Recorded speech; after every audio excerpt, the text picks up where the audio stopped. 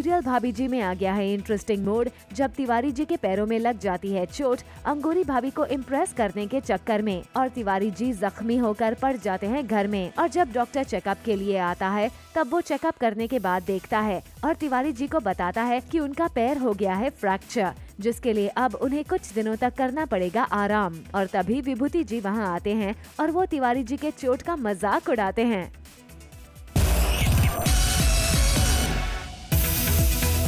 Well serial भाभी जी में एक तरफ़, जहाँ तिवारी जी के पैर में लग जाती है चोट, जिसे देख विभूति जी होते हैं खुश तो वहीं दूसरी तरफ़ अंगूरी भाभी होती हैं उदास, क्योंकि अब उनको कौन लेकर जाएगा मार्केट घर की शॉपिंग के लिए? और फिर जैसे ही विभूति के कानों में जाती है ये बात, वो तुरंत चांस मारते हुए अंगूरी भाभी से कहते हैं कि वो परेशान ना हो, वो करवा देंगे उनकी शॉपिंग जिसे सुनकर तिवारी जी को आता है गुस्सा।